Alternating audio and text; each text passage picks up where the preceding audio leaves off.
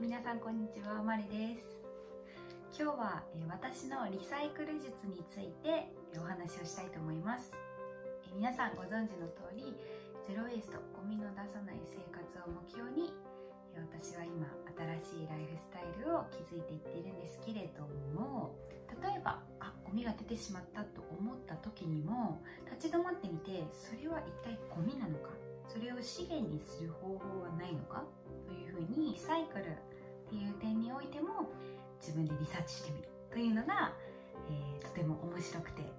でとても大切なことかなっていうふうに思っています。まず1つ目なんですけれども私すごく視力が悪くてですね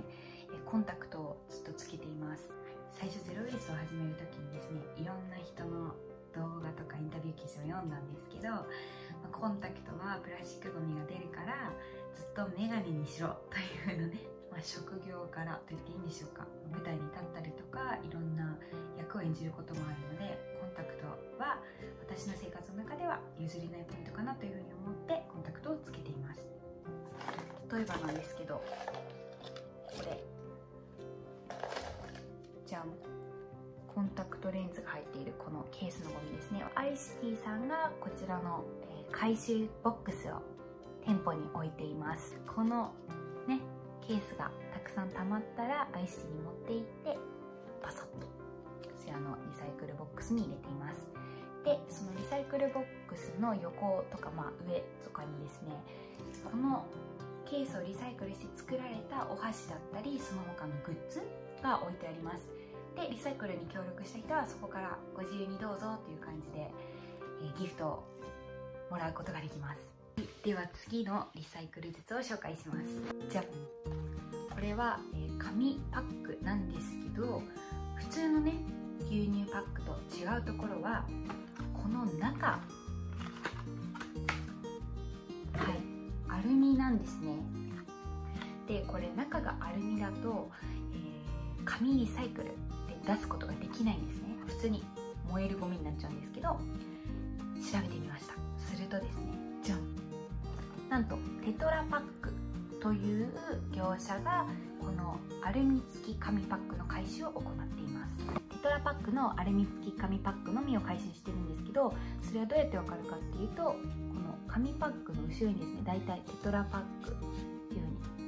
風に書いてある表示を見つけることができます。そういったテトラパックのアルミ付き紙パックを、えー、貯めて、まあ、よく洗って開いてこれを集めた上でテトラパックリサイクルのホームページから申し込むと箱が届きます。でこの箱に紙パックを詰めてはい送料かかりません。この会社に送るだけでリサイクルをしてくださいます。いなげやさんだったりある特定のスーパーマーケットではこのアルミ付き紙パックをお店で回収しているので近くにそういうスーパーがある方がいたら、まあ、その方が簡単かなっていうふうに思います。テトラパックさんはこれを回収した後に金属部分と紙の部分を分けてそれぞれ資源として再利用しています。このアルミ付き紙パックなんですけれどももう一つ面白いアップサイクルという方法があります。インスタグラムで見つけたミルクパクコさんというクリエイターの方がじゃんこういった作品を作っています。このアルミの部分ですね。アルミの部分をアップサイクルしてこのように素材をねクシュクシュっとした感じに加工してミシンで縫われています。これはマスクケースです。マスクを外出した時に例えば外してどうしたらいいんだろうって悩みますよね。この中に入れて閉じてカバンの中などにしまえばまた綺麗な状態で使える。しかもこのアルミの部分は防水なのでお家に帰ってきてからこの中もしっかり洗えるというすごい優れものです。ミルクパクコさんと一緒に考えたアイディアなのでぜひ皆さん、えー、クリーマーで、えー、ミルクパクコさんの作品も見れるのでチェックしてみてください。下の説明欄にリンクを貼っておきます。そしてもう一つリサイクル術をシェアさせてください。よく洋服などですね着なくなったものは、まあ、古着屋さんだったり段ボールに詰めて寄付ができますよね。下着はどうでしょう？自分がもう着たくたくたになった下着などはなかなか古着屋さんだったりそういう回収をしていただくことができません。ワコールという下着のブランドは下着のリサイクルを行っています。これは期間限定でホームページなどでく調べてからという感じにはなるんですけどワコールの下着ブランドの店頭に行くと専用の袋をもらうことができます。その袋に着古したまたはサイズが合わなくなった下着などを入れてでテープをしてそれをまた店頭に持っていくと素敵なね切手なんかももらえたりするんですけれどもリサイクルしてもらいます。自分が出したゴミを、え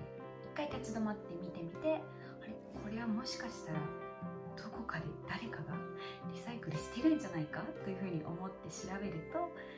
面白い発見があるかもしれません。今日シェアした情報が皆さんのお役に立てればと思います。私もこれからもっともっと勉強してゴミを減らしていけるようにそして出てしまったゴミをリサイクルできるように頑張っていきたいと思います。ではまた次回の動画でお会いしましょう。バイバーイ。